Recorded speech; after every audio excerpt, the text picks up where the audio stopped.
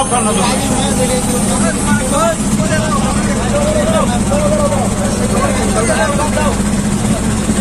আমাদের মহারাজার মানে সন্তুষ্ট হয়ে আমাদের ভাই মহারাজাকে আবার